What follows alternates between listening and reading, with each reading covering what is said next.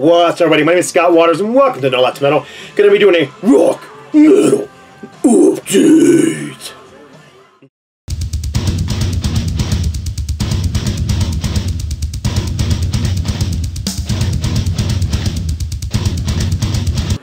That's right.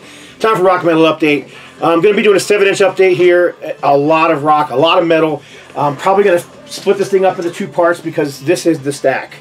Um, and the first part will be probably be all metal stuff, uh, one offs, you know, where I only have one album from each of these bands or something like that. Whereas the second stack is probably four to five bands, but there's multiple albums from each band, and and there's some, you know, like I don't know, you know, family members of the bands kind of thing. So anyhow, let's just get right into it. We'll get the first stack going on right here. If I can do it fast enough, might be able to do it in one video, but we'll see.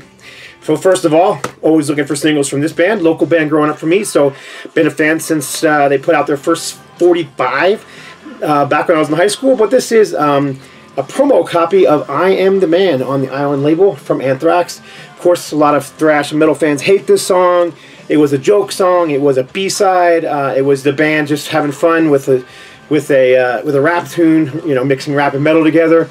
And uh, you know, they had obviously did more in the future with Public Enemy, and then also with a couple other bands. So uh, a lot of people uh, blame them, if blame is the right word, for the whole rap metal movement that went on in the 2000s. But whatever. I thought it was fun back when it came out. Um, but I don't dislike rap either, so I'm not a huge fan, but I don't dislike it, so I, I never minded it, and I always kind of liked the uh, the I'm the Man. It was funny and fun. But uh, this particular one is um, a promo single, same song, both sides in the original Island red sleeve. I just I've never seen one before, so I was kind of psyched to get that, even though it's definitely not my favorite Anthrax song by any stretch of the imagination. All right, next up, this is um, Judas Priest. This is a four song, four song I believe. EP might even be more than four. I can't remember now. Sinner, Exciter, Hellbent for Leather, Ripper, Hot Rockin', and Green Manalishi. So, what's that? Six songs? Count one, two, three, four, five songs. So 33 and the third RPM, uh, UK single, promoting the band's you know 70s material.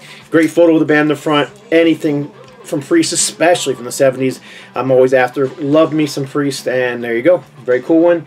I know it's a very common one in, in, in, in Europe and UK. I belong to seven several 7-inch groups on Facebook, and I see that one get posted quite a bit. So it's not a rare one. I didn't pay a lot for it, but it's just one that I was missing, and one doesn't pop up here in the United States ever.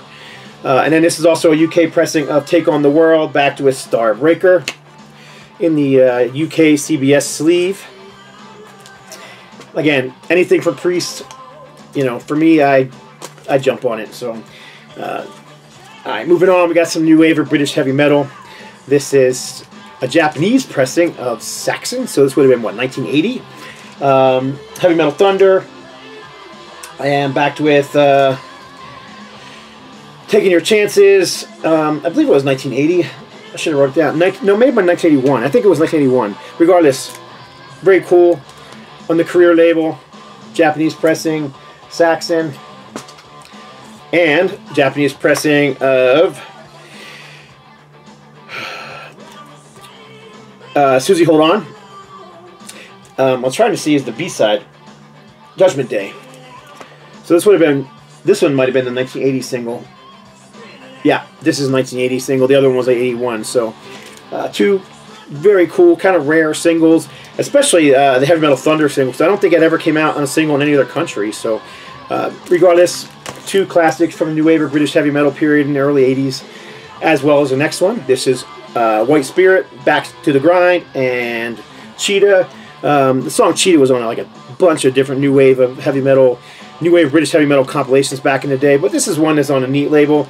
Um, fairly well known one, uh, fairly well known band, even though they didn't do a, you know a ton of, of releases and stuff like that. But different members moved on to other bands and you know gained some notoriety. But regardless, if you're a fan of new wave of British heavy metal uh, and that whole movement from the you know 79 through 83, 84, whatever it was, and uh, this is one that's worth pick that's worth picking up. It's very very good. This is one that I didn't I never even heard of until recently. Always been a fan of the new wave of British heavy movement, but I never heard of Dagaband. Now, the name sounds absolutely ridiculous to me. I don't have any idea what Dagaband means. I didn't look it up or anything like that, but whatever. Um, but I did enjoy the song. Now, the nice thing about new wave or British heavy metal movement is it wasn't pegged as you had to sound like this. I mean, you had super heavy, fast stuff like like Raven and Venom. You had stuff that had a big punk influence, like the very first Iron Maiden album, either the first two Iron Maiden albums, or uh, Tank. You know, there was a ton of them that had that kind of mix of punk and, and metal together. And then you had stuff that was more melodic, like uh, Def Leppard, and then stuff that was just straightforward heavy metal, like uh, know, Angel Witch. You know, there was just so much great stuff coming out that during that time, and a lot of it was released as singles. That's the case here too. Dagaband was only around for a short time. They released uh, two or three singles. Apparently played a lot of shows, but they didn't release a lot of material. Um, this uh, came out in 1980, and it's two tracks, Images, and I can't remember the other track. I'm gonna have to look. Images and Test Flight. A bit more on the more melodic side of things uh, kind of proggy. Uh, I, I, really liked it. Um, made me, I liked it enough that I sought out and have purchased their second single. So you'll probably be seeing that one in an upcoming video in the future. Um, if I didn't like it, I wouldn't even bothered. But I thought this was pretty good. I picked this up from a seller in the UK that I buy a lot of my singles from, called Vinyl Tap. Worth checking out if you. You can see the uh, information there. Worth checking out if you're interested in buying seven-inch singles like that, and especially from bands from the UK and Europe, because they sell a lot of. I buy a lot of German singles from them and all kinds of Australian excuse me, Austrian, not Australian.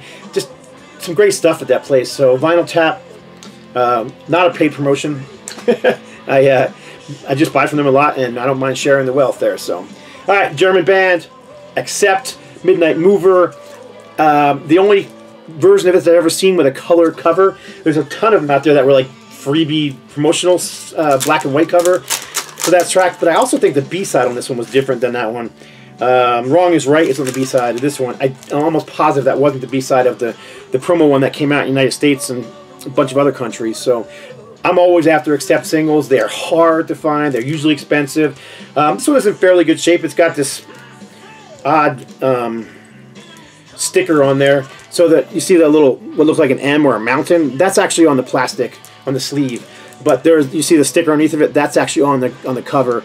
And I just tried a hair with my nail to see if it would come up, and no, it's not coming up. So it's staying on there. Um, it's just been on there for way too long, and I'm not going to tear up the cover for a sticker. Uh, anyhow, Midnight Mover. Uh, did not pick this one up from that company. I picked it up from a different company. Continuing on with Accept, this was the album that everybody loves to hate. Um, the song Generation Clash, backed with D Train. Um, it was you know, Accept Sans uh, Udo, who who left to, to form UDO. Um, and here's the back cover. Uh, I like the album. Now, I'll confess, when the album came out at first, I was disappointed. It didn't sound like Accept. And I was always a big Udo fan. And, uh, but it really is well done stuff. And the vocals are fantastic. I mean, what a great singer he is.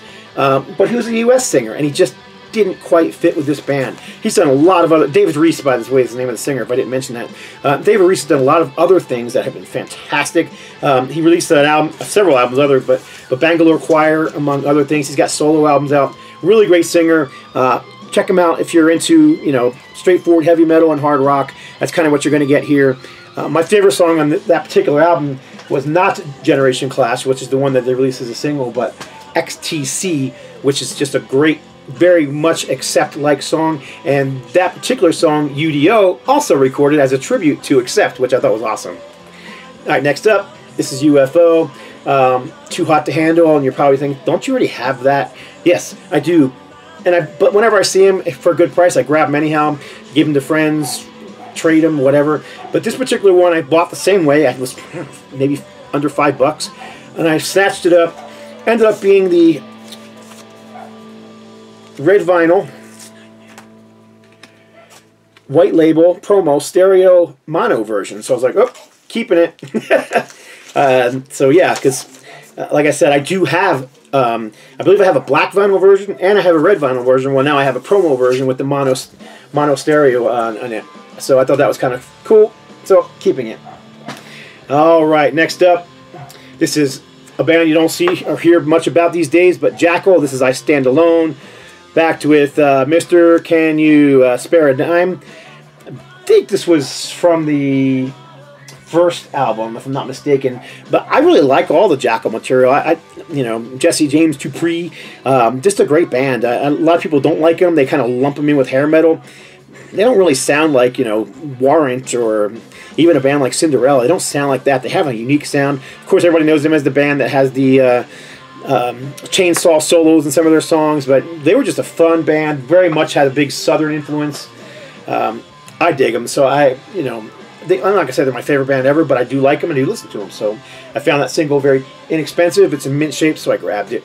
This one here I didn't know existed until uh, I saw the singer sh showing singles that had been released in this band, and I do have this single as a regular RCA release with two different songs. This is the stereo mono uh, version that is a promo pressing only.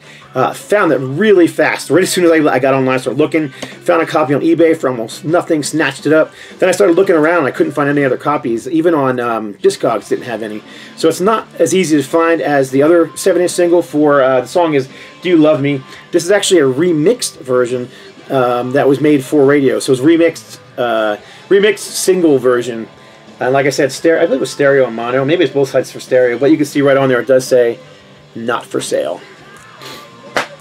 Mass, great band, Boston, Massachusetts, which is where their name comes from. Several people think they're a Christian band.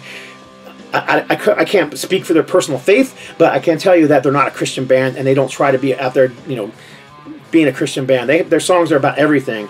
From they do have songs about God, but they have songs about watching her walk. And if you're a guy, you know what that means. So it has nothing to do with you know Christianity. So this is cool. I like Ratt. Never was one of my favorite bands, but I love the first EP and the first couple albums. Um, you know, again, this is a band that's pretty much um, enshrined as the uh, leaders of glam metal or what they now call butt rock or uh, hair metal, which whatever. It's just metal. Ratt was on the very first um, Metal Blade Metal Massacre album, along with Metallica and Cirith Ungol. So I mean, to me, they were always just a metal band. Yeah, they did get definitely got more glammy, more commercial as they went on, and you know who could blame them? They uh, they were they were very successful um, at it. So, uh, but anyhow, this is um, a promo uh, single for Round and Round, backed with uh, "You Think You're Tough." and this was a UK pressing and this is another one as you can see from the little sticker on the on the white sleeve there Vinyl Tap. so not that it's a secret but it, I'm always looking for singles especially by some of my favorite bands bands like the Scorpions and Aerosmith and Judas Priest and Ted Nugent and Black Sabbath and you know some just some of my all-time favorite bands Anthrax and Megadeth just those kind of bands and if I find something that I'm you know you know, maybe I found, maybe I was looking for, I don't know, say I found a Scorpion single on Vinyl Tap.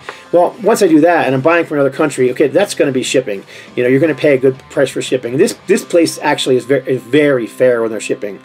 But regardless, um, once I find that and add it to my cart and say like eBay or on their store, I immediately go and start looking what other 7 inch singles do they have. I need to make this shipping worthwhile.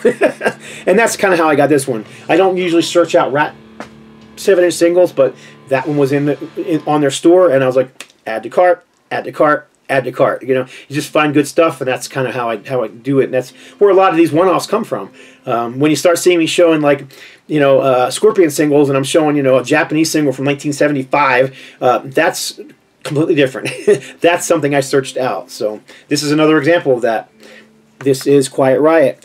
Um, Winner Takes All. Now, I do like Quiet Riot. Um, I saw them on their uh, Metal Health Tour opening up for Black Sabbath back in 83. Um, I like Quiet Riot. They're not my favorite band, but I do like them.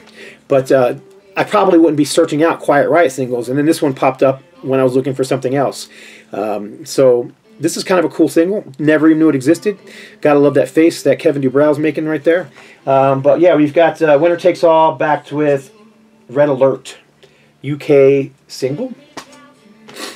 And excuse my sniffling and my very rough voice. I, I, I couldn't even talk a few days ago, so I'm glad I'm actually able to talk now. Uh, just I got beat up by allergies, so um, just took my voice away. It was very odd. Even went to the doctor, and the doctor's like, "No, just allergies." Is what it is. All right, next up, Pretty Maids from the same seller. I like Pretty Maids. Again, not a band I necessarily would search out 7 inch singles for, but you know, they had something else I was looking for, and I snatched that up, and I added two or three other singles to my collect to my cart, and I bought those along with it. A lot of these singles aren't real expensive in Europe. They're expensive here. If you go on eBay and buy from an eBay seller here, this thing's going to sell for 15, 20 bucks plus, you know, two, three, four, six bucks shipping. No, this probably was like, I'm sure it was under $10. I wouldn't have picked it up. Um, so, you know, very very worthwhile picking up. That's why I, I, buy from a lot of these European sellers. They have very fair prices on seven inch singles. You just don't see in the United States very often. So, all right, next up, getting into some newer newer bands, newer metal stuff. This is Holy Grail, Season's Greetings. This is literally the only Holy Grail single I was missing. My buddy Rob Caldwell hooked me up with this copy. He had it, didn't want it, and literally gave it to me as a gift. So uh, thanks, Rob. But it is two cover songs from Holy Grail. So side A is No Presents for Christmas by King Diamond, and the B side is Kill the King by Rainbow.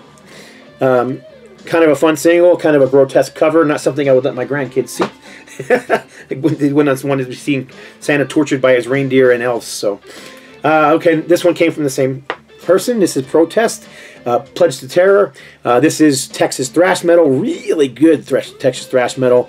I uh, don't know where these guys are at these days. I think they're no longer around, but regardless, really like the single. I'm glad to have it in my collection finally. So I was stoked when Rob said, "Hey, do you want this?" I'm like, uh, "Yeah." so anyhow, next up, Mothership. Um, 2017 Dallas, Texas band.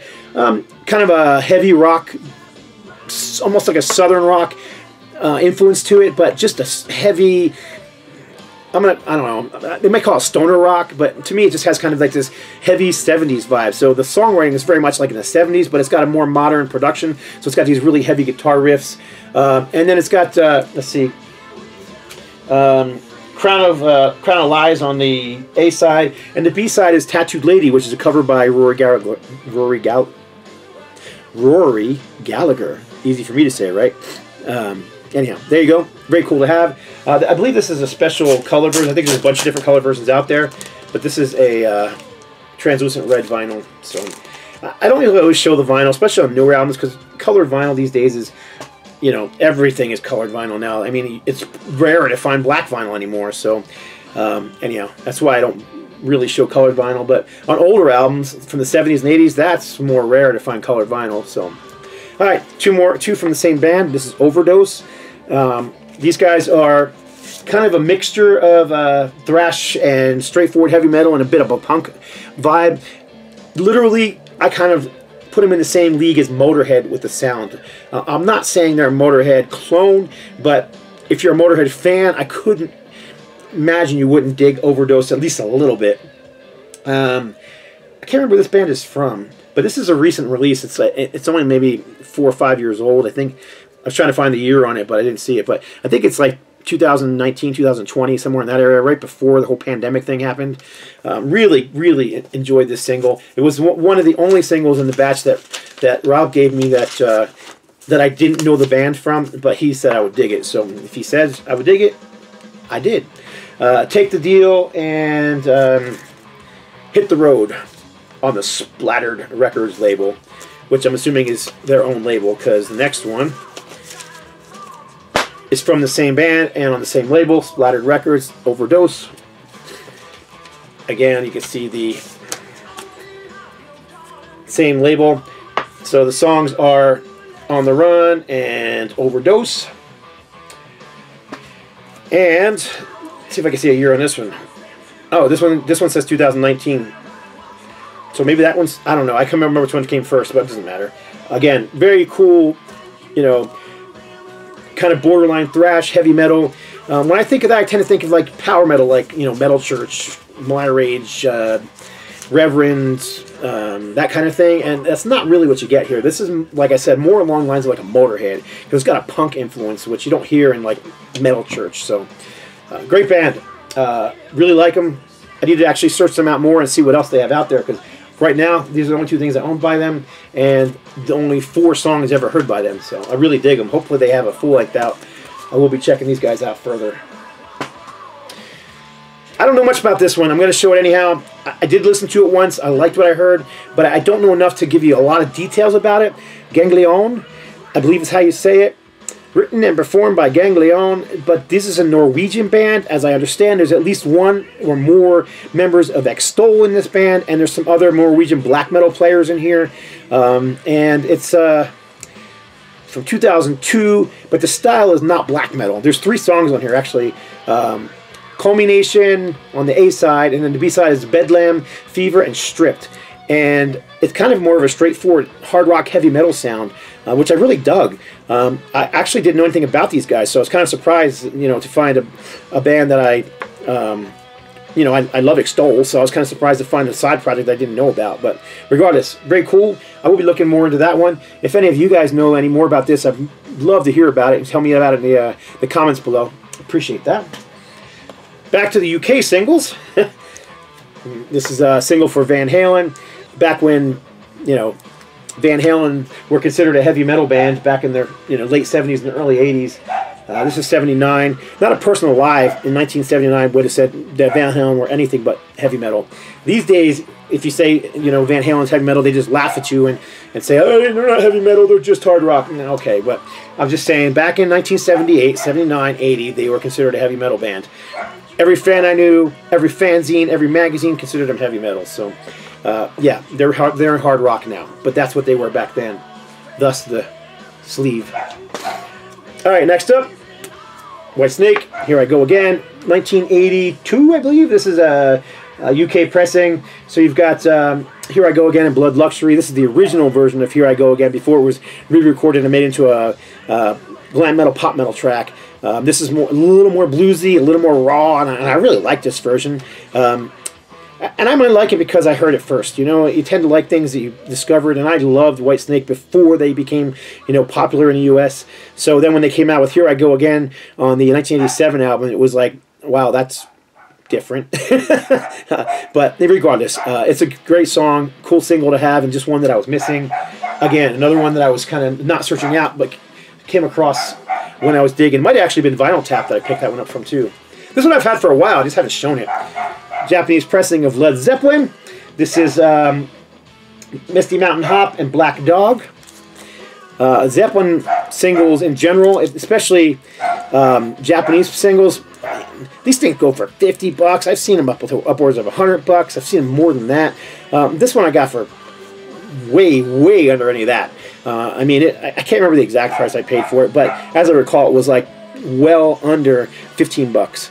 Um, and again, I bought it as with a batch of other ones, so nice to have. I love Led Zeppelin. Um, they were one of the you know first wave of British heavy metal bands, one of the inspirations for what became heavy metal, the especially in the '80s. Um, just about every band you know that came out in the late '70s and early '80s were inspired, including Judas Priest.